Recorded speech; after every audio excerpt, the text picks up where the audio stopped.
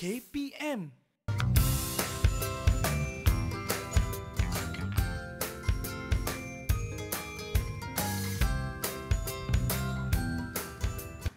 Assalamualaikum warahmatullahi wabarakatuh. Salam sejahtera. Apa khabar semua? Anda sedang menyaksikan Road to Success SBM 2021 bersama dengan saya Akmal Nazri. Baik, uh, saya nak beritahu kepada anda semua ingat sila patuhi segala SOP sebab kita belum menang lagi kan. Jadi silalah uh, sentiasa memakai pelitup muka, sentiasa mencuci tangan dan juga sentiasa menjaga jarak satu meter apabila berada di tempat awam. Baik, Hari ini subjek yang kita nak belajar adalah subjek kegemaran saya. Memang saya ambil subjek ini pada tahun SPM 2009. Hui, sangat lama ya.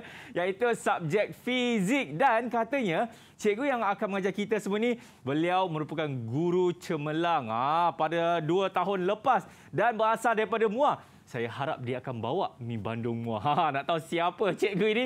Jom kita tengok profil guru hari ini.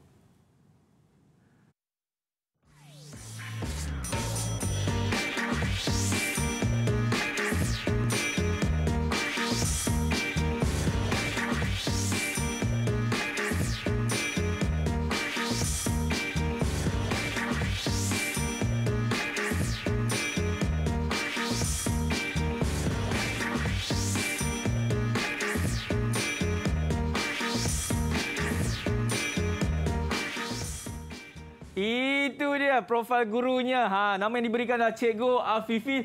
Hmm, macam tak ada bau mi Bandung lah. Macam tak bawa je cikgu ni. Ha, ini dia. Kita perkenalkan Cikgu Afifi. Assalamualaikum Cikgu. Waalaikumsalam warahmatullahi Sihat Cikgu? Alhamdulillah. Ha, berasal daripada Muar. Dan inilah kalau nak orang kata dapat keputusan cemerlang fizik, inilah cikgunya. Cikgu fizik kita. Cikgu, saya nak tanyalah kan. Sebab saya tahu sekarang ini format ini pun dah berubah. Kan daripada KBSM menjadi KSSM. Ramai pelajar uh, buat komplain cikgu. Diorang kata, "Ih, kenapa macam senang sangat ah?" Apa pandangan cikgu mengenai subjek fizik apabila dah berubah daripada KBSM ke KSSM ini, cikgu? Okey, uh, kita tahu kita Ha. punya pembelajaran ataupun kita punya pendidikan Mhm. sentiasa berubah, sentiasa maju ke hadapan. Jadi Mhm. kita tak patut berada di tempat yang sama. Ah. Jadi kita kena ikut juga. Teknologi Okey. dah semakin berkembang. Takkan kita Yap. nak belajar teknologi yang lama. Ah. Jadi kita kena ada pengetahuan yang lebih sebenarnya. Jadi kita kena Yes. ikut flow apa yang teknologi, apa Mhm. yang pembelajaran sedang berlaku sekarang. Ah, senang kata kita ikut peredaran zaman cikgu Betul, lah. betul. Cikgu SPM tahun bila cikgu? 2003 orang kan. Dua- 2003 sekarang dah 2021 berapa umur cikgu? Okey baik. Sebelum kita nak perkenalkan uh, sekolah pilihan hari ini uh, seperti di Didik TV ni kami sentiasa uh, menjaga orang kata SOP lah dan sentiasa melakukan protokol kesihatan. Jadi dengan itu cikgu, saya nak minta cikgu untuk ke sana untuk kita melakukan sanitasi boleh cikgu eh? Boleh, boleh. Alright, let's go cikgu. Baik, kalau dekat atas meja ini ah, kita dah ada pun uh, sanitizer. Jadi cikgu boleh gunakan terlebih dahulu dan selepas itu diikuti dengan saya pula. Ada ke cikgu? Ada ke ni? Ah, ada ada. Ingat dah habis. Okey, baik kita cuci-cuci-cuci supaya sentiasa bersih dan terhindarlah daripada pandemik ini cikgu eh daripada COVID-19 ini. Okey, dan selepas itu untuk memberikan keselesaan kepada cikgu sewaktu mengajar kita boleh buka kita punya pelitup muka tapi ha sentiasa menjaga jarak satu meter dan juga letakkan di tempat yang selamat seperti ziplock ini. Silakan cikgu. Alright. Okey, kita letak dalam. Ha ha dan kita boleh letakkan di atas meja ini. Baik, kita dah perkenalkan dah cikgu siapa yang akan mengajar fizik hari ini. Dan kita nak tahu juga sekolah pilihan hari ini. Katanya semua perempuan cikgu eh? Semua bunga. Ah, semua bunga sebabnya mereka ini memang uh, sekolah menerangkan masa perempuan cikgu lah Ya, kan? betul. Ah, daripada mana daripada mana cikgu? Saya Muar. Ah, tak, nama sekolah tu. Oh, Sekolah Perempuan Sultan Abu Bakar. Ah, boleh kita kenalkan cikgu Boleh, eh? boleh. Okey, ini dia. Assalamualaikum. Apa khabar? Salam sejahtera. Ha. Okey, ah, ya, sa- silakan cikgu. Siapakah mereka? ah, saya perkenalkan eh, yang hujung sana ialah Tanu, kita panggil Alright. Tanu sahaja. Apa Okey. khabar? Dengar Tanu? baik. Alright. Alright, dan seterusnya cikgu. Okey, ah, Lina, Aha, Lina. Okey, Leshan dan Iklil Munira. Hello dan juga Iklil Munira. Yes. Oh, kita nampak uh, baju kat belakang Iklil tu macam dah tak ada lah. Kemana perginya baju-baju itu? Okey, baik. Saya pasti diorang dah bersedia dah uh, kan untuk belajar macam mana kita nak tackle subjek fizik ni. Tapi sebelum itu, apa pandangan uh, anda semua mengenai subjek fizik? Adakah ianya senang ataupun susah? Ha. Okey. Okey. Ha, okey je. okey. okey sahaja. Tapi cikgu mungkin boleh bagi intro sikitlah apa yang kita akan belajar sekejap lagi cikgu. Okey, saya dipertanggungjawabkan untuk membawa subjek fizik mm-hmm. di dalam topik okey ataupun tajuk haba. Tajuk haba hari ya, ini. Tajuk haba. Ah, okay. ha, tiga. Jadi, sebenarnya tajuk haba ni ialah ha. satu tajuk yang menarik Senang. sebenarnya. Menarik eh? Ya. Ah. Cuma ah, dari segi eksperimen agak susahlah nak dibuat sebab dia bermain dengan haba kan. Yep. Jadi kita tak bawa lah bendanya kat sini. Oh, ha, jadi okay. kita hanya belajar secara teori dahulu. Satu ha. lagi sebab kita road to success, okay. kita nak tackle soalan macam mana, kita nak tengok contoh-contoh soalan, mm-hmm. apa yang pelajar perlu kuasai ha, dalam topik ini. So itu sahaja yang kita nak belajar pada hari ini. Okey, dan kalau kita dapat lihat tadi daripada ekspresi daripada Lina kan, dia sangat excited. Ah, ha, kalau dia kata, okey, uh, excited betul dia kan? okey, jadi kita nak berhenti rehat. Selepas ini kita akan mulakan kita punya sesi pembelajaran bagi subjek fizik. Jangan ke mana-mana. Didik TV KPM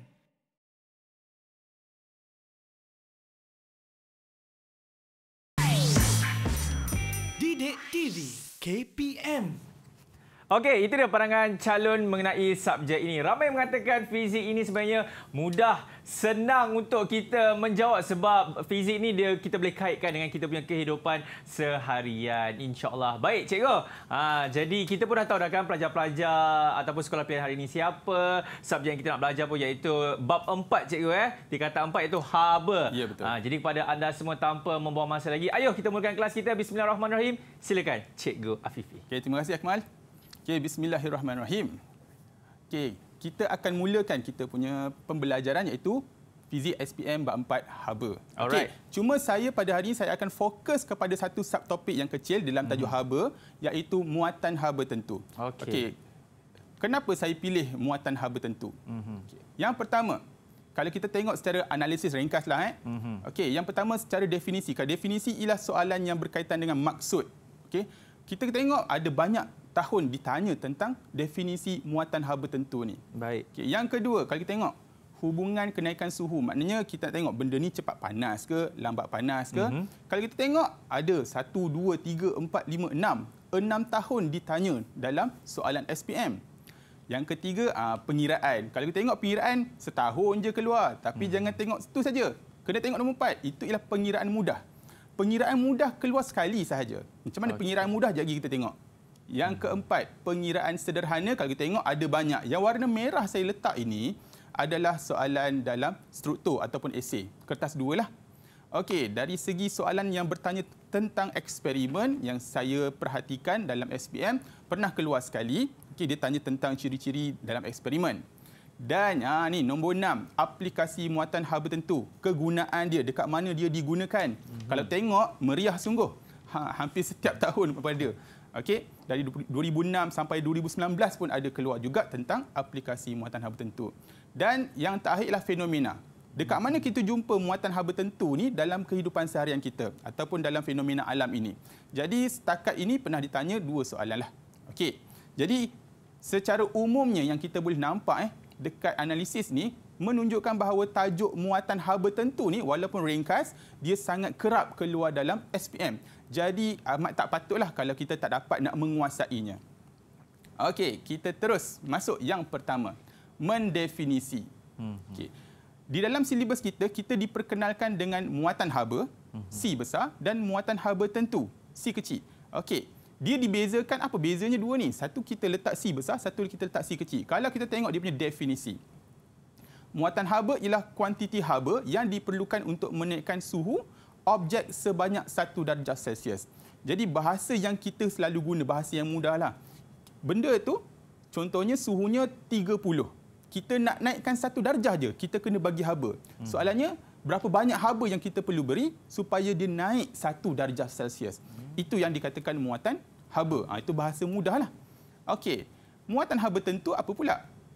Kalau tengok perbezaan ni sikit sahaja. Sama juga ayat dia, kuantiti haba, berapa banyak haba yang kita perlu berikan menaikkan suhu objek sebanyak 1 darjah Celsius. Nampak sama ayat dia. Cuma kita tambah bagi jisim 1 kilogram. Sebab kita tahu air kalau banyak, mm-hmm. kita nak panaskan, tentulah mengambil masa yang banyak ataupun kita perlukan banyak haba. Yep. Tetapi kalau airnya sedikit, ha, habanya sikit pula. Jadi kita nak samakan semua objek, kita letak 1 kilogram. Jadi bila ada 1 kilogram, dia menjadi muatan haba tentu. Dalam bahasa Inggeris kita panggil specific heat capacity. Maknanya nilai dia dah ditentukan ataupun tertentu. Mm-hmm. Okey.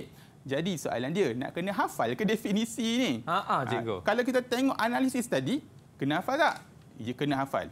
Okey. Terutamanya tentang muatan haba tentu yang kita tengok tadi keluar beberapa tahun. Okey. Susah ke nak hafal? Jadi kita akan belajar teknik-teknik nak hafal pula. Cantik. Ha. Alright. Okey. Ini contoh soalan nak mendefinisi. Mm-hmm. Okey, ini dalam contoh soalan objektif lah. Contoh muatan haba tentu bagi aluminium ialah 900 joule per kilogram per darjah Celsius. Ataupun biasanya kita sebut J kg negatif 1 degree mm-hmm. Celsius negatif 1. Uh-huh. Okey. Soalannya, daripada apa yang kita tulis kat sini 900 joule kg negatif 1 degree Celsius negatif 1 apa apa yang dimaksudkan dengan 900 tu? Maknanya apa yang benar? Kalau kita tengok satu persatu eh. Okey. Yang A 1 kg aluminium dia membebaskan 900 joule tenaga haba untuk menaikkan suhu sebanyak 1 darjah Celsius. Ah, jawapan ni betul ke tak betul yang B pula suhu 1 kg aluminium meningkat sebanyak 1 darjah Celsius, okey, 1 kg 1 darjah Celsius apabila ia menyerap 900 joule haba. Okey. Yang C pula, suhu 1 kg aluminium akan menurun apabila ia menyerap 900 joule tenaga haba. Dan D, aluminium memerlukan 900 joule tenaga haba untuk menaikkan suhu sebanyak 1 darjah Celsius. Kalau tengok ayat ni macam semua lebih kurang. Lebih kurang ha. mengelirukan pada Confusing. Okey, tapi tak apa. Kita sebab kita tengok tadi definisi. Ah, ya. tadi definisi pun. Tengok. Okey. Mm-hmm. Agak-agaklah pelajar-pelajar. Ah ni. Ya. Kita ada Ni cikgu Tanu angkat tangan saya nampak dia nak jawab. Ha, saya okay, nampak Tanu angkat tangan. Saya rasa pelajar-pelajar saya dah bersedia nak menjawab. Alright, saya bagi awak 3 saat. Tiga oh, saat, tiga cikgu? saat cukup. Mana Baca. cukup, cikgu? Bukan nak mengira. Okeylah, lima saat. Okay. Okay. Lima saat? Cikgu, bagilah lima jam ke? tak payah kot. tak ada kira apa-apa okay. kat sini. Okay. Tanu, I'm, I'm pretty sure you boleh jawab soalan ini. Yes. Alright. Okay, go ahead. Okay, Tanu. Uh, my answer is B. B? D? Yes. D or B? Donkey or ball? Ball. Ball. B, cikgu. Ball. Ya. Yeah. Betul, B. Okey, mari kita tengok betul ke B? Mhm. Okey, ah. tahniah Tanu. Congratulations Tanu. Tepuklah okay. sikit. Tepuk. Ah. Okey, tapi sebelum Alright. kita nak ceritakan apa yang salahnya dekat A, apa yang salahnya dekat C dan D. Mm-hmm. Kalau kita tengok A, 1 kilogram aluminium dah betul 1 kilogram membebaskan 900 joule untuk menaikkan suhu. Ah, dekat sini keyword dia lain sikit je. Iaitu membebaskan.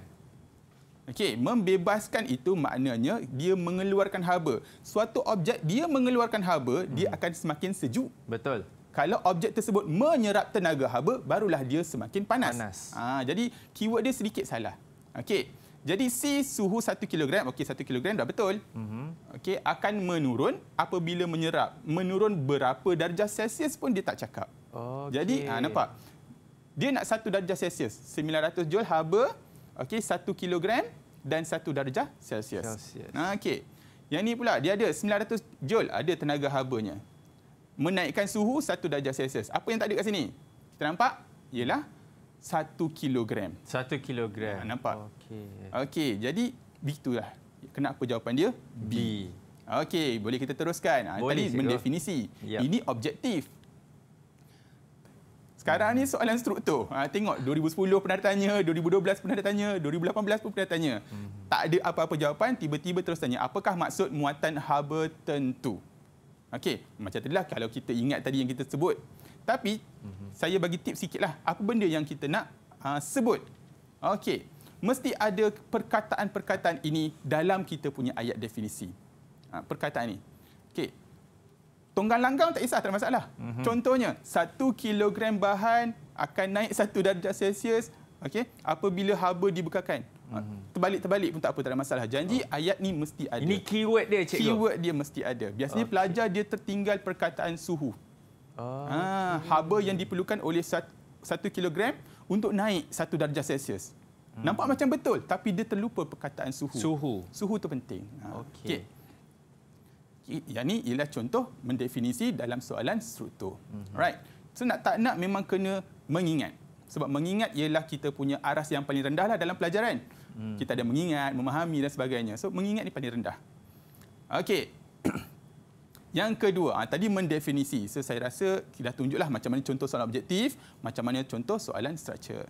Okey, yang kedua, hubungan menentukan uh, muatan haba tentu, jisim dan haba dengan perubahan suhu. Perubahan suhu ni bahasa yang mudah kita nak sebut ialah cepat panas, lambat panas. Ha, okey. Contoh, ha, ni. Satu kilogram, contohnya satu kilogram aluminium. Suhunya 30 darjah sahaja, kita nak panaskan sehingga jadi 31. Nampak tak? Perubahan dia cuma 1 darjah Celsius. Hmm. Tapi berapa haba yang diperlukan untuk dipanaskan? So kat sini 1 kilogram aluminium memerlukan 900 joule hmm. haba untuk meningkatkan suhu dia sebanyak 1 darjah Celsius. Okey. Manakala air 1 kilogram air jisim yang sama. Perubahan suhu sama juga dari 30 darjah menjadi 31 darjah. Maknanya perubahan ni 1 darjah Celsius sahaja. Tetapi kalau kita perasanlah bila kita panaskan air lambat panas. Oh, okey. Ha, ini menunjukkan bahawa 1 kilogram air memerlukan nampak 4200 joule tenaga haba. Barulah dia meningkat 1 darjah Celsius. Hmm. Okey. Kalau kita fahamlah dari segi ayat ni, saya nak tanya. Ha, saya nak tanya siapa ni? Iklil cikgu saya nampak. Ah, dia geling-geling kepala tadi. Iklil, agak-agak awal daripada pernyataan inilah. Okey, aluminium memerlukan 900 joule. Hmm. Okey. Manakala air memerlukan 4200 joule. Kalau kita tengoklah yang mana agaknya cepat panas. Mm-hmm. Uh, air lagi lambat panas. Okey, betul. Yang tahniah. aluminium tu lagi cepat panas. Okey, tahniah. Terima kasih Iqlil. Okey, jadi oh, aluminium hanya memerlukan haba yang sedikit sahaja. Mm-hmm. Okey. Jadi kita tengok betul tak? Okey, betul. Ya. Okay, tahniah kerana Aluminium dia cepat panas kerana dia hanya memerlukan 900 joule saja haba. Hmm. Maknanya bagi haba sikit dia dah naik 1 darjah Celsius. Air bagi haba yang banyak saya letak 4 api kat sini. Ha. Baru dia nak naik 1 darjah Celsius. Okey. Daripada uh, hubungan ini kita boleh mengatakan bahawa muatan uh, muatan haba tentu bagi aluminium adalah kecil 900 sahaja. Manakala muatan haba tentu bagi air lebih besar. Alright.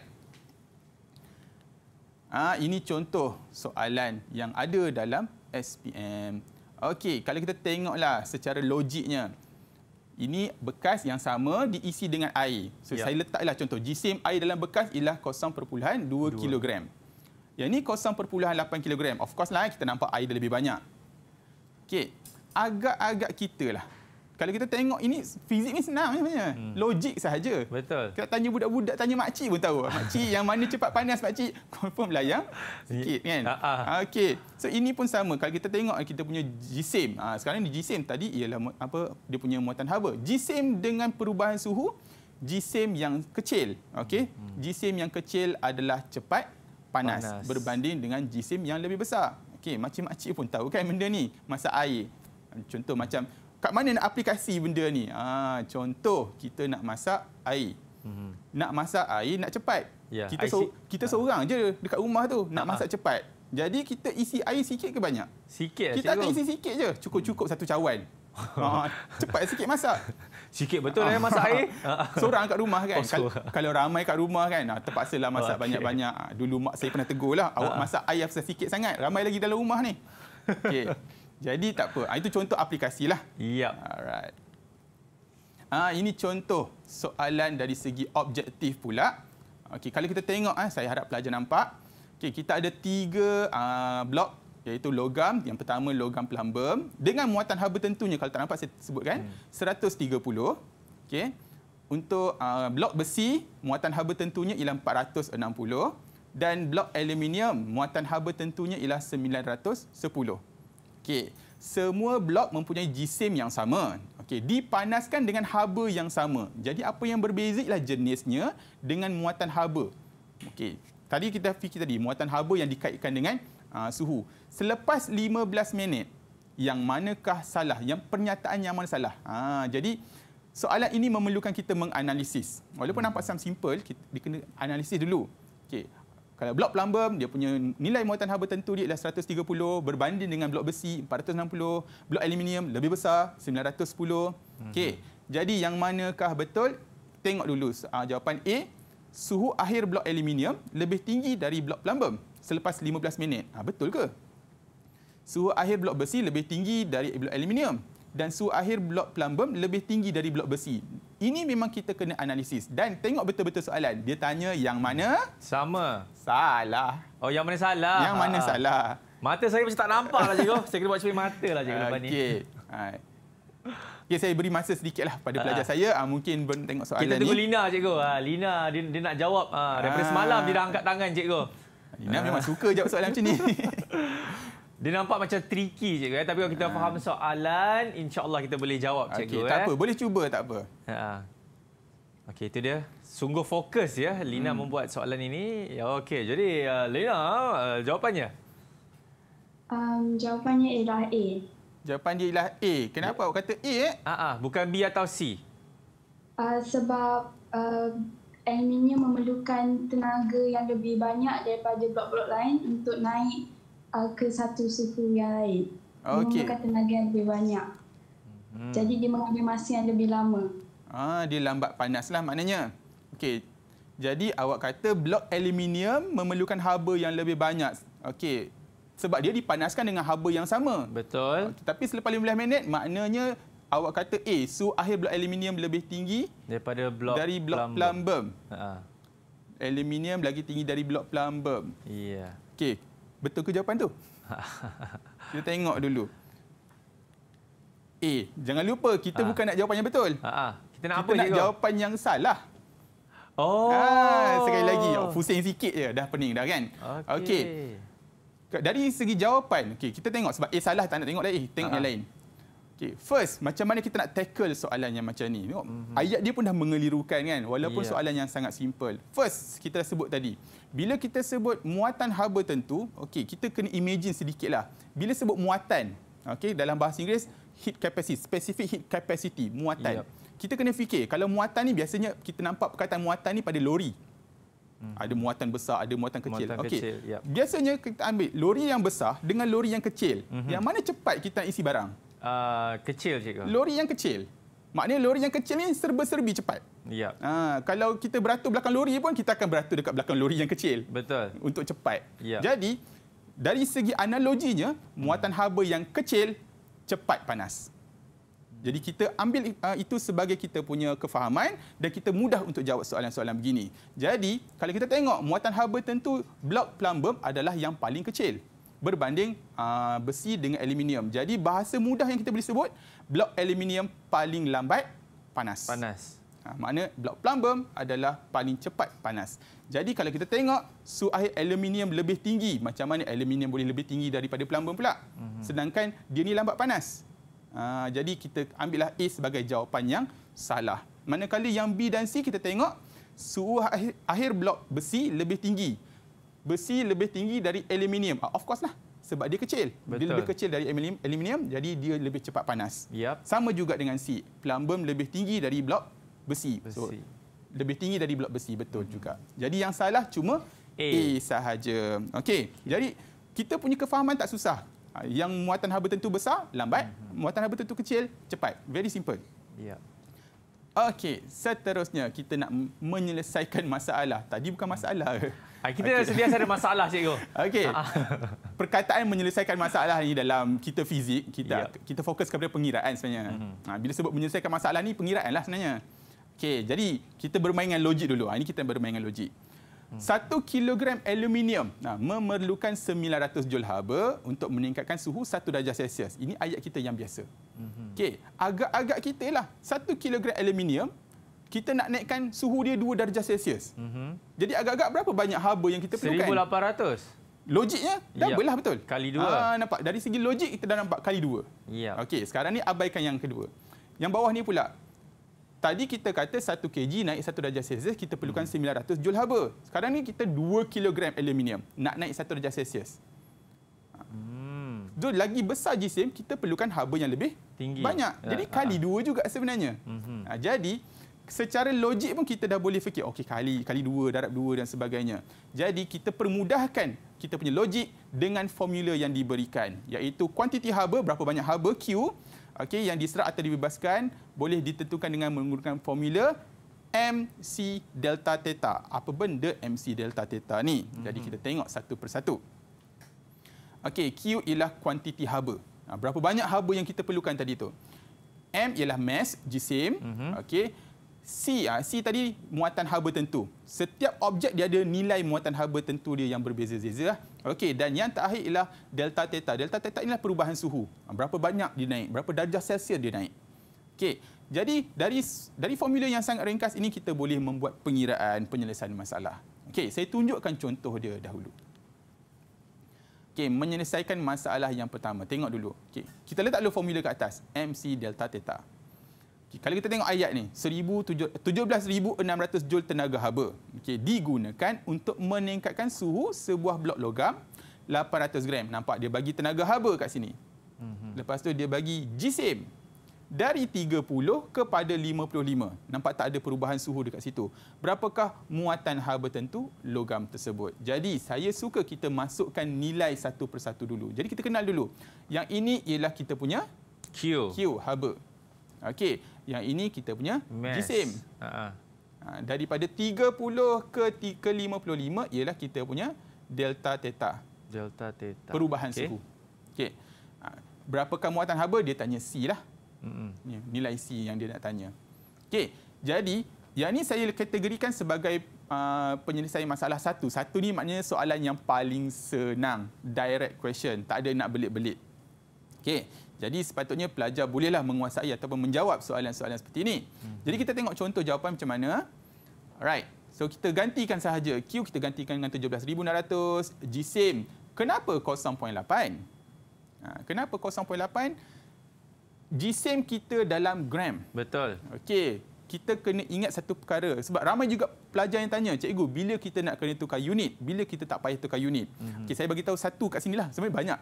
Okey, satu bila kita menyelesaikan topik tenaga. Okay. Apa-apa yang berkaitan dengan tenaga, kita akan gunakan unit SI. Okey. Okey, maknanya gram terpaksa ditukar kepada kg.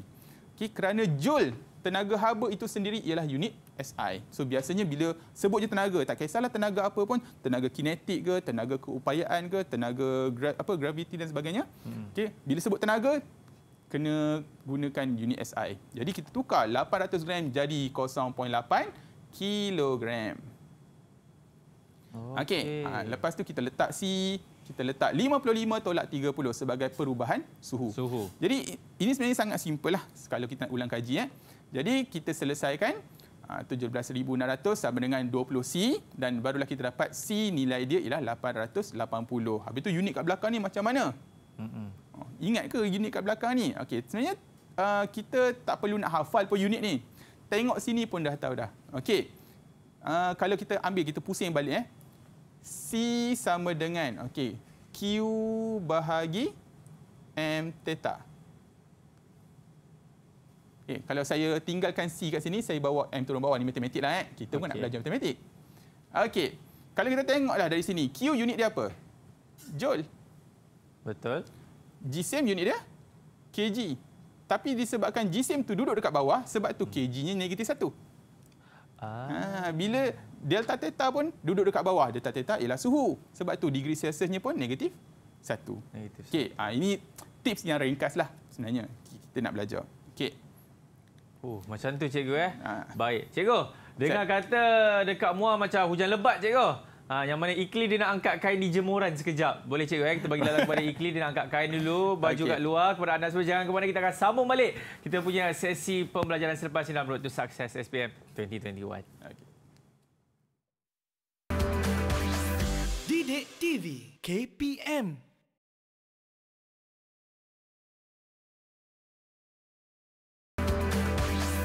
Didik TV KPM Alright, masih lagi menyaksikan Road to Success SPM 2021. Baik cikgu, tadi kita dah kira-kira dah kan macam mana nak dapat itu, macam mana nak dapat ini. Oh, sebenarnya senang je kalau kita faham soalan itu dan juga formula dia, insyaAllah kita boleh jawab. Okey cikgu, next kita ada apa ni cikgu? Cikgu nak tunjuk apa lagi? Apa lagi masalah ni cikgu? Okey, sekarang ni bukan masalah saya sekarang. Ah. Ha, ni masalah mereka pula. Ah, ah okay. Tadi saya dah tunjuk macam mana nak selesaikan. Mm-hmm. Okey, sekarang ni saya bagi tugasan kepada pelajar saya okay. Okay, untuk menyelesaikan soalan ini waktu rehat tadilah. Ah. ah. Okey. Tak apa saya bacakan. Sambil-sambil tu pelajar boleh terus buat. Ha, ni, ni ruangan kosong ni tempat awak menjawab lah. Okey. Okey, sebuah bongkar logam berjisim 500 gram mempunyai muatan haba tentu sebanyak 1200 joule kilogram negatif 1 dikali sentimeter 1. Okey. Hitung jumlah haba yang diperlukan. Dia tanya apa jumlah haba ni? Dia Mhm. tanya Q. Okey, digunakan untuk memanaskan bongkar dari 30 menjadi 50. Alright. Saya harap pelajar dah mula mengira. Ya. Okey. Saya rasa boleh tak kita uh, nak suruh pelajar-pelajar ni Ha. angkat Boleh, jawapan? boleh, cikgu. Okey. Tak ada masalah. Okey. Uh, saya minta pelajar-pelajar semua bersedia dengan kad jawapan objektif masing-masing. A, B. C, D tu kalau ada. Yap. Dan kalau Okey. boleh cikgu eh kita minta orang explain macam mana dia boleh dapat jawapan Ah. tersebut. Ha, ha. Sebab kalau saya explain cikgu, saya akan baling dadu je cikgu. Antara A, B, C atau D. Tapi dah dua ada enam macam mana? Ha? Oh, alah cikgu. Okey, ah boleh angkat. Okey. Ikli jawab B, semua jawab B. Oh. Okey. Orang berbakat ke apa ni? Ah. Korang ada WhatsApp group ke? Eh, hey, you guys, B tau. Okey, betul ke B? Saya tengok jawapan saya. Ah, ah. Alright, tahniah. Okey. Okey, jawapannya Macam B. boleh dapat B tu, cikgu? Alah, saya dah bagi jawapan lah pula kan. Oh. tak patut pelajar-pelajar yang buat kan. Okey, tak apa. Tapi pelajar saya dapat B, saya rasa inilah jalan kerjanya. Diorang tak susah pun. Ha. Okey, kita tahu okay, gini ialah jisim M. Okey, muatan haba tentu kita tahu ini C. Alright. Uh, suhu perubahan suhu delta theta 50 dengan 30. So daripada 30 nak ke 50 bezanya ialah 20 kan. Alamak tak boleh tutup. Boleh? Ha, cikgu tekan lagi sekali. Ha, tak? Ah, Ah, tulis. okey. Ah, okey. Ha, jadi kita tekan kalkulator terus kita dapat 12,000 joule. Okey, ha, ini ialah soalan yang paling senang sebenarnya. Kita tengok pula masalah dua. Masalah dua ni maknanya level tinggi sikit. Yap, level tu. Ah, level tu. Kalau kita tengok tadi soalan yang senang kurang keluar dalam exam. Hmm. Soalan level 2 ni lah yang ba- banyak keluar dalam SPM. Okey. Sebuah periuk berjisim 2 kg mempunyai muatan haba tentu. Okey, kita tahu muatan haba tentu ialah C. Dah tahu dah. Dipanaskan dengan menggunakan pemanas elektrik berkuasa 800 watt. Ha, tiba-tiba pula datang pemanas elektrik 800 watt. Macam tak belajar pun tadi. Betul. Hitung masa. Masa pula. Bila pula ada formula masa dekat sini. Okey, untuk meningkatkan suhu sebanyak 90 darjah Celsius. Ini ialah Ya. delta theta. Okey, jadi bila kita jumpa soalan yang macam ni, first dalam buku teks ada info sedikitlah dalam buku teks. Okey, kita dah belajar tadi bagaimana haba tu boleh menaikkan suhu. Okey, Hmm. haba boleh menaikkan suhu. Jadi haba kita boleh datang dari tenaga elektrik. Okey, dari tenaga elektrik kalau kita pernah belajar lah tenaga elektrik, formula dia ialah kuasa darab dengan masa. Ha, Okey. Jadi kita permudahkan. Alamak terconteng. Tak apalah. Okey. Okey, ah, ah. Dari formula asal QMC theta ataupun QMC delta theta, kita hanya ubah Q menjadi PT. Bila kita ubah benda ni? Bila kita jumpa tenaga elektrik. Kerana tenaga elektrik kuasa darab dengan masa. Okey, jadi kita cuma modify sedikit sahaja formula. Jadi bagaimana kita nak buat pengiraan tadi? Ha, daripada QMC theta ataupun QMC delta theta, kita jadikan PT. Bila jumpa PT ni confirm lah elektrik. Oh. Okey. okay. macam cikgu punya tulisan eh. Macam doktor. Buruk semua. Okey. Jadi, kuasa pemanas kita 800 watt. Okey, Okey. masanya kita nak cari masa. Jisim kita letaklah 2 kg. Tengok unit dulu. Okey, 2 kg. So tak ada masalah. Ha, jangan salah unit. C kita ialah muatan haba tentu 390 dan delta theta 90. So, semua maklumat tu dah ada sebenarnya. Jadi kita cuma nak mencari T sahaja. Hmm. Jadi kita boleh tekan kalkulator, kita akan dapat T ialah 87.75 saat. Ha, jadi kalau kita ada pemanas 800 watt tu, kita letak 2 kg air, kita on, kita tunggu 87 saat, dah meningkat suhu dia sebanyak 90 darjah. Hmm. Maksudnya macam itulah. Okey, jadi apa yang penting saya tunjukkan sini ialah perubahan dari formula QMC theta theta ni kepada PT bila PT. jumpa elektrik. Nampak? Sangat simple. Jadi kita tengok contoh soalan. Ha, D je jawapan dia. Laju sungguh. Okey, sebuah cerik elektrik mempunyai kuasa 1050 watt, 1050 watt digunakan untuk memanaskan 2 kg air. Ha. Suhu je 30. Kita nak panaskan menjadi 60. Okey. Jadi hitung tempoh yang diambil untuk proses pemanasan tersebut. Alright. Okey. Ha, Pelajar-pelajar saya sedang mengira nampaknya. Yap.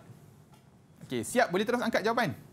Okay. Ui, laju je ke? Ha, siap je terus angkat jawapan. Okey, siapa yang dah dapat je? Dah Ha, angkat jawapan. Ui, hebat Iklil. Apa tu? Nombor telefon awak? Eh, bukan. Oh. Okey, kira saya ingat dia bagi nombor telefon dia, cikgu. Oh, okey, Iklil dapat C. C, okey. Ha. C, Okey, Leshan dapat C juga. okey, Kita anu C. Okey. Lina, Lina, C je Lina. Lina apa? Lina tengok jawapan. Ha, Okey, tak ada masalah. Cikgu nak suruh orang explain macam orang dapat pun boleh, tak ada masalah, cikgu. Ah, boleh. Ha, kita Siapa? minta ni, uh, Le, Le Shen. Boleh ke Le Shen? Okey. Boleh, boleh. Alright. Please. Uh, masukkan nilai bot uh, 1050 dalam sama Okey. P kita seri. Okey. Okey. Uh, N sama dengan 2 kilogram. C sama dengan 4,200. Okey, Uh, 4200. Delta data ialah 30. Iaitu en- 60 tolak 30. Okey, bagus. Dari 30 ke 60, 30. Okey. Mhm. Hmm, um, jadi masa saya akan dapat 240 saat. Bahagi 60 akan dapat 4 minit. Oh, maknanya Ah. masa awak dapat dalam saat. Okey. Okey. Mari kita tengok jawapan dia. Ya, betul. Wah. Bila kita mengira, yes, kita akan dapat 240 Hoye, hoye, saat. hoye. Okey. Kerana masa kita saya dah beritahu tadi ya, ki- bila Betul. kita mengira tentang tenaga, semua unit yang digunakan ialah unit SI. Hmm. Jadi kita akan dapat dalam saat. Ha, saat ialah unit SI. Tapi sengaja saya letak jawapan dalam minit. Ha, nak menaik ha, kita nak menaikkan arah sedikit ah, arah kesukaran soalan. Untuk mereka pelajar tahu tak 240 saat ni berapa minit. Jadi Ya. alhamdulillah pelajar dapat menjawab iaitu 4 minit. Ya, tadi saya jawab. D, cikgu eh. Oh, saya terlebih, cikgu. Ah, Ha. Okey, seterusnya. Okey, seterusnya. Ini level 3. Ini dia. Okey. Level 3 ini juga keluar juga dalam peperiksaan. Macam Mhm. mana ceritanya? Okey, suatu botol susu diisi dengan 0.05 kg air panas. Okey, Okey. air panas dicampur. Okey, cerita campuran. Ah, keyword dia lah campur. Contoh simple lah kita nak beraya kan. Nah, mak kita suruh buat air suam. Mhm. Kak tolong buat air suam. Kita pula gatal nak tanya dekat mak. Mak nak berapa darjah Celsius? Wow. Jadi mak dia pula jawab, ha, mak nak 85 darjah Celsius. Ha, sudah, kita ada air panas satu, air sejuk satu. Ah, ah. Nak campur macam mana dapat 85 darjah Oh, Celsius. okey. Jadi kita boleh kira. Ha, ada calculation dia. Jadi kalau kita tengok kita ada air panas 90 darjah Celsius, okey, kita ada air sejuk 30 darjah Celsius dengan GCM dia. Okey, jadi kita nak hitung berapakah suhu akhir campuran tersebut. Jadi, pengiraan dia agak complicated sedikit kerana dia menggunakan konsep asal iaitu haba yang dibebaskan oleh air panas akan diterima oleh air sejuk. Jadi, kalau air panas tu membebaskan 1000 joule, tentulah yang sejuk pun akan terima 1000 joule juga. Jadi, kita letak sama dengan sebab sama. Jadi, bila dah haba, kita gunakan formula MC delta theta tadi. Cuma yang pertama ialah untuk air panas, yang kedua untuk air sejuk. Okey. Macam mana cerita dia? Ha, kita masukkan sahaja. Kita ada air panas tadi. Okey, air panas GCM dia 0.05. Muatan haba tentu air. Okey, dekat sini 90 tolak theta. Nanti saya terangkan. Okey, kenapa kita punya delta theta ini ialah 90 tolak theta. Dan seterusnya air sejuk.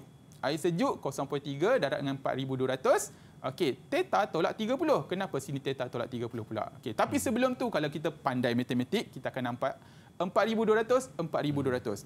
Kalau persamaan, kita boleh potong. Sebab sama. Okey, jadi kita dah ringkas sikit. Okey, sekarang ni kita kena faham satu benda lah tentang uh, formula ini. Kenapa air panas 90 tolak theta?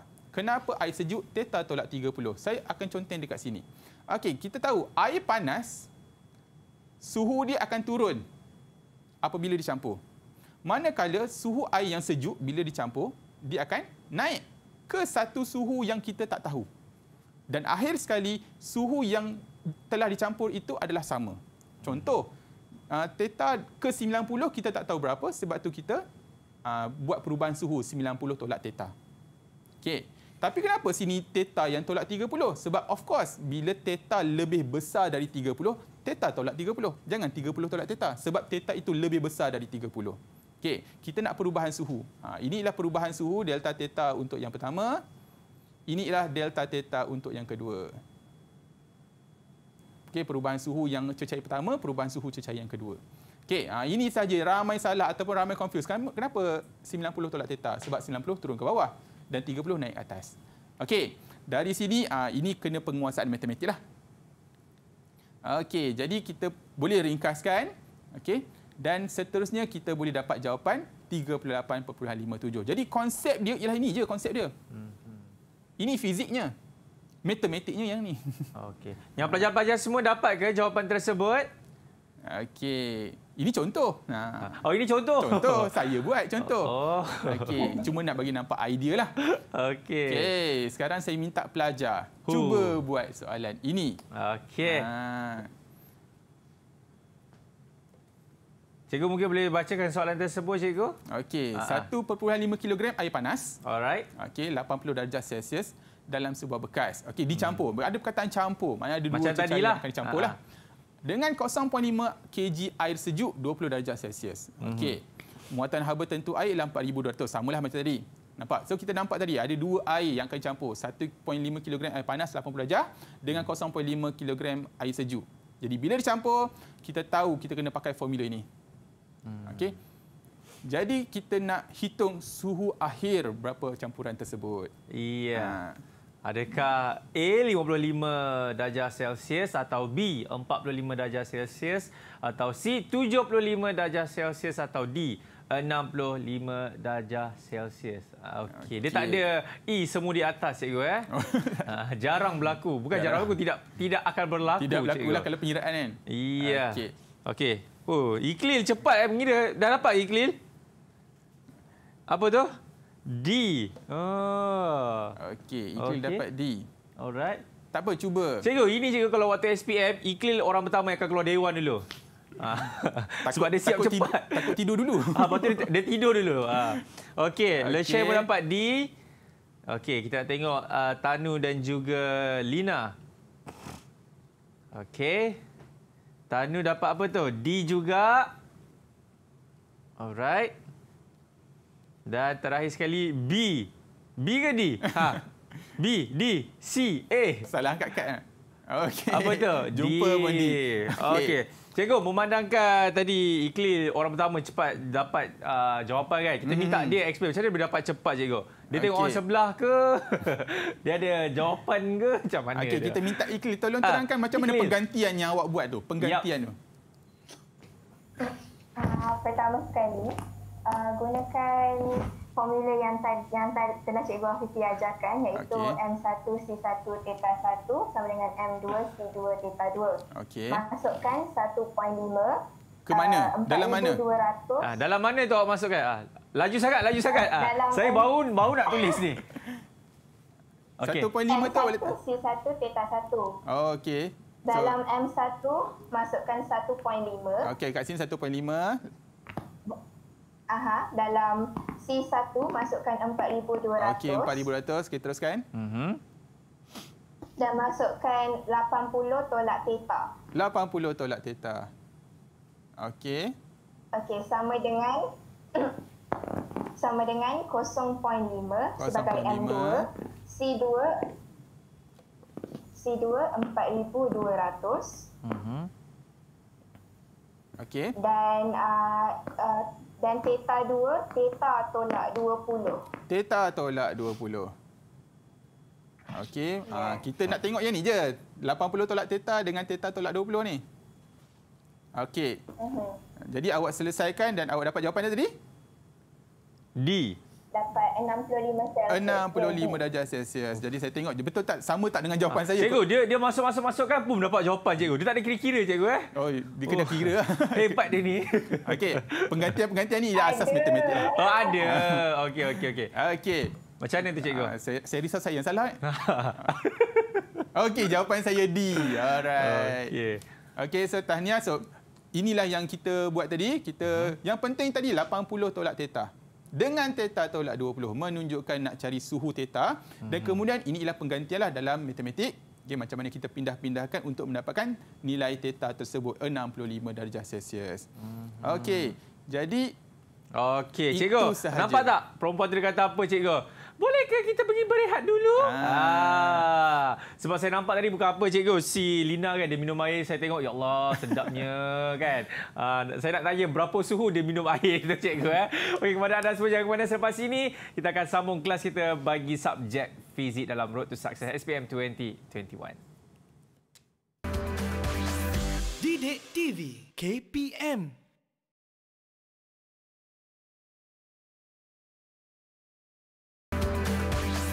Didik TV KPM Ha, sedap sikit dah minum air tadi kan. Yang mana air tersebut saya punya suhu dia dalam 20 saja.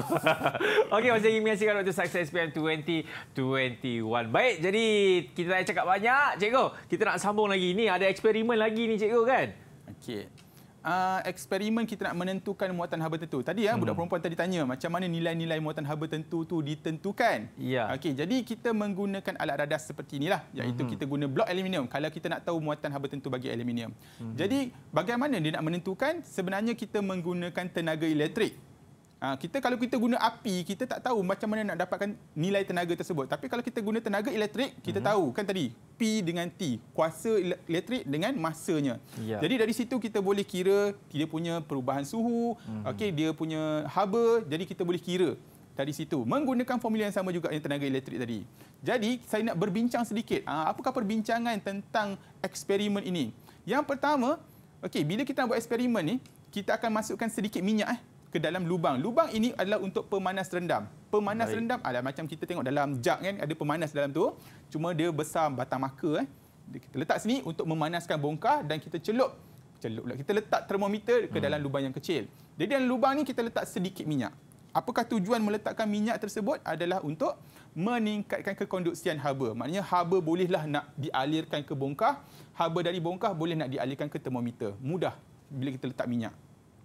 Yang kedua, kita balut bongkar dengan kain ataupun kertas tisu. Dalam buku teks dia tulis kertas tisu. Seeloknya kita balut dengan kain yang tebal supaya mengelakkan ataupun mengurangkan kehilangan haba yang terbebas. Sebab kita nak haba yang dibekalkan oleh pemanas ini diterima semuanya oleh bongkar aluminium. Mm-hmm. Okey, kalau ada yang terbebas kita punya bacaan akan kurang tepatlah. Okey.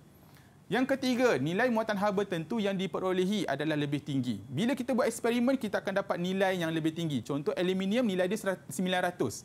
Tapi bila kita buat eksperimen, dapat 1,000 terlebih.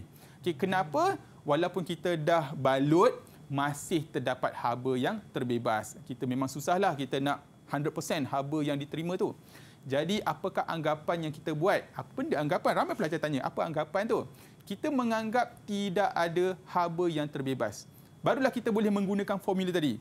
PT sama dengan MC theta. Ataupun bila sama tu maknanya kita anggap tidak ada haba yang hilang lah. Sebab tu kita boleh guna formula tersebut untuk pengiraan. Jadi ini antara pembincangan untuk eksperimen. Jadi kita masuk yang ketujuh, aplikasi, kegunaan. Ha, ini selalu keluar dalam exam, banyak tanya. Okay. Yang pertama, periuk memasak. Kalau periuk memasak yang mahal, hmm. okay, dia ada dasar kuprum. Biasa Betul. kita punya periuk putih je semua. Okey, kalau yang mahal sikit dia ada dasar kuprum. Kenapa? Kita kena tengok muatan haba tentu yang rendah. Saya ringkaskan sebagai MHT lah. Muatan haba tentu yang rendah adalah tujuan dia cepat panas yang tadi. Kalau tanya kenapa kita gunakan muatan haba tentu rendah, cepat panas. Ha, itu jawapan yang paling ringkas. Okey, untuk badan periuk pula kita gunakan badan aluminium. Juga muatan haba tentu yang rendah. Kalau kita tanya, kenapa guna muatan haba tentu rendah untuk badan aluminium? Jawapan dia sama juga. Cepat, panas. Okey, cuma bezanya kenapa guna kuprum dekat bawah? Ketupatan kuprum dia lebih tinggi. Jadi dia lebih berat dan dia lebih stabil. Okey. Untuk aluminium dia lebih ringan lah. Hmm. Dan pemegang, ha, pemegang ni kalau eloknya pemegang polimer lah. Yang kita kata plastik-plastik tu. Ha, muatan haba tentunya tinggi. Bila muatan haba tentu tinggi, kita dah belajar tadi. Lambat, panas. Ha, itu bahan-bahan untuk periuk memasak saja pun dah ada beberapa bahan yang berbeza. Okey, sistem penyejukan enjin enjin kereta, okey, sistem penyejukan dia dia menggunakan radiator. Okey, kerana sebab enjin tu berada di dalam kereta. Yeah. Kalau enjin tu dekat luar senang, kita bawa laju-laju angin tiup sejuk. Betul. Ha, tapi enjin tu dekat dalam, so tak ada hmm. angin yang boleh tiup bagi sejuk. Jadi kita gunakan air sebagai ejen penyejuk. Ejen tu penyejuk macam mana? Air akan melalui uh, kawasan enjin dan air ini dia punya muatan haba tentu dia besar. Okay, bila muatan haba tentu dia besar, dia boleh menyerap lebih banyak haba dan dia bawa keluar haba tersebut untuk disejukkan dekat luar. Mm-hmm. Ha, itu fungsi radiator. Sebab tu ada kipas kat sini. Ha, mm-hmm. Kalau kita pernah duduk dekat uh, aircon, kita boleh rasa angin aircon tu panas. Okey, fenomena bayu laut dan bayu darat. Saya ambil contoh bayu laut sahaja. Okey. Okey, ini kita dah pernah belajar. Cuma saya nak tambah sikit sahaja. Kita tahu waktu darat uh, waktu siang darat cepat panas. Okey, muatan haba tentu. Okey, ni. Alamak. Ha, cikgu ke belakang. Ah okey. Ah, cikgu oh, tekan dulu skrin. Ah, cikgu tekan skrin dulu. Tekan skrin. Ah, tekan ah, ke belakang sikit cikgu. Ke belakang, ke belakang, ke belakang, lagi-lagi. Ah okey. Ah, cikgu jangan sentuh, cikgu terus melukis cikgu. Oh eh. Ah, ah, boleh cikgu. Muatan apa tentu. Ah. Tak keluar juga, tak apalah. Okey, tak apa. Okay. Ah, Cuma nak kita cerita je lah. Cuma Pen nak cerita invisible. kat sini. Cuma nak cerita kat sini, ah, kenapa daratan cepat panas? Ya. Ah, kalau kita tengok waktu tengah hari, daratan cepat panas berbanding laut. Cuma kita tambah keyword dia ialah kerana muatan haba tentu air laut lebih besar. Bila laut lebih besar dia punya muatan haba tentu, dia lambat panas. Sebab tu bila tan- bila tengah hari tanah panas dulu. Okey, manakala laut lebih sejuk. Jadi disebabkan ada perbezaan suhu dekat situ, uh, udara yang berketumpatan rendah yang panas akan naik ke atas dan udara sejuk akan mengalir ke darat. Ini kita panggil dia bayu laut. Okey. Seterusnya, ha ini contoh soalan struktur. Okey, kalau kita tengok apa maksud muatan bertentu. Tadi dah jawab. Pelajar, pelajar dah jawab. Ini contoh soalan struktur. Kita tahulah jawapan tadi. Okey, tentukan kesesuaian yang untuk cepat panas. Ini contoh. Saya tunjukkan contoh-contoh soalan eh. Mm-hmm. Okey, bahan periuk nampak dia bagi. Ada tanah liat, ada kupra. Okey. Kita pilih muatan haba tentu yang rendah lah supaya cepat panas. Ah, bahan pemegang periuk kita ambil yang muatan haba tentu tinggi, lambat panas. Okey, manakala jisim periuk kita ambil yang mana yang elok? Tentulah kita ambil yang ringan. Okey, jisim yang rendah supaya mudah kita nak bawa. Mm-hmm. Okey, ini contoh-contoh soalan yang dia boleh tanya. Nampak periuk dipanaskan dengan pelak pemanas 800 watt hitung masa yang kita buat tadi tu macam mana PT sama dengan MC apa delta theta tu. Ya. Sebab tu saya ajar benda-benda ni supaya kita boleh kira masa untuk periuk yang pertama 275 saat. Hmm. Periuk yang kedua mengambil masa 85 saat. Jadi tentulah yang mana lebih cepat masak tentulah yang kupra. Kita ambil masa yang paling singkat. Nampak? Semua ni yang pelajar dah buat tadi. Okey, ini juga soalan struktur. Benda yang sama dia tanya. Muatan haba tentu bahan periuk, okay, tentulah rendah. Ya. Sebab cepat panas. Dia punya ayat bersama saja kalau kita tengok. Okey, muatan haba tentu tinggi, lambat panas, rendah cepat panas. Hmm. Dan apa yang saya nak tunjuk sama je semua. Nampak dia akan tanya specific capacity. Dia akan tanya lagi muatan haba tentu bahan dinding. Dia akan tanya lagi Nampak? Dia bagi muatan haba tentu untuk kita nyatakan apakah ciri-ciri muatan haba tentu yang diperlukan. Okey? Soalan esei pun sama juga. Dia akan bagi muatan haba tentu. Yang rendah ke yang tinggi, yang mana bagus? Kita kena pilih yang mana bagus. Yang ini pun sama. Ini enjin tadi. Ha, dia akan bagi muatan haba tentu yang akan digunakan dalam enjin. Besar ke kecil? Ha, kita kena jawab ikut apa yang saya sebut tadi. Okey, dan kesimpulannya, ah inilah dia kesimpulan. Okey, muatan haba tentu tinggi, lambat panas. Okey, penebak haba dan kita gunakan sebagai ejen penyejuk. Manakala haba tentu yang rendah, kita cepat panas dan sebagai konduktor haba. Okey, dan itu sahaja sebenarnya dalam tajuk uh, muatan haba tentu. Saya spesifikkan muatan haba tentu dalam hmm. tajuk haba. Sebenarnya tak banyak, itu sahaja. Baik, tapi sebelum kita nak tamatkan kita punya pembelajaran kita ni kan, kita nak tanya ada tak pelajar-pelajar yang ingin menanyakan soalan kepada cikgu? Faham ke semua? Faham eh? Oh, faham. tak ada soalan eh? Faham. Tanyalah, buat-buat tanyalah, buat-buat macam macam uh, tak faham. Tak ada juga eh? Okey, baik cikgu. Mungkin sebelum kita nak mengakhiri lah kan, mungkin cikgu ada apa-apa yang cikgu nak sampaikan kepada pelajar-pelajar di luar sana yang mengambil subjek fizik ni cikgu. Okey, secara ringkas lah eh. Mm-hmm. Okey, sebab kita tahu pelajar-pelajar kita uh, pada tahun ini, pada tahun lepas, okey semuanya terjejas akibat COVID.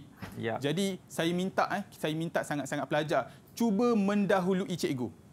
Oh, cuba okay. mendahului cikgu. Kalau dah tahu cikgu akan ajar bab tersebut, cuba mendahului cikgu, baca dahulu. Hmm. Ha, sebab kita jangan tunggu cikgu. Ya. Okay, zaman sekarang ni jangan tunggu cikgu. Hmm. Cuba mendahului cikgu. Kita ada banyak platform. Kita boleh tengok dekat YouTube, kita boleh baca dekat Google semua info-info tentang pembelajaran ini. Jadi bila ya. kita dah belajar dahulu, hmm. barulah bila kita belajar dengan cikgu ada benda yang tak faham. Yang kita okay. boleh tanya. Berbanding kita tak baca apa-apa dan tiba-tiba belajar apa yang tak faham, saya pun tak tahu apa nak tanya cikgu. Hmm. Nampak? Dia baru nak faham maknanya. Hmm. Jadi bila kita study dahulu, yang kita panggil flip classroom tu, hmm. belajar dahulu. And then bila belajar dengan cikgu, ada banyak benda yang kita boleh bincang. Baik. Okey, terima kasih Cikgu Afifi di atas okay. perkongsian tersebut dan diharapkan semua pelajar-pelajar uh, mendapat info di atas apa yang cikgu sampaikan tadi. Okey, kita nak ucapkan terima kasih juga kepada pelajar-pelajar kita daripada SMK Perempuan Sultan Abu Bakar Muar Johor. Wishing you guys all the best dan akan mendapat keputusan yang cemerlang. Baik, kita jumpa lagi. Saya Akmal Nazri. Bye-bye. Bye. Didik TV KPM Assalamualaikum dan salam sejahtera. Berada di era pandemik COVID-19 ini merupakan cabaran yang sangat besar buat anak-anak yang akan menduduki SPM 2021 kerana sebahagian besar pembelajaran adalah dalam bentuk online. Harapan saya agar anak saya Ajwat Abu Bakar dari Sekolah Tinggi Muar dan semua calon SPM 2021 akan terus cemerlang dan berjaya mengatasi rintangan ini agar ia menjadi satu kejayaan yang sangat manis untuk diingati. Saya Puan Omar binti Hassan, ibu kepada Nur Azrina binti Aziz dari SMK Konvent Muar ingin mengucapkan selamat maju jaya kepada semua calon SPM 2021.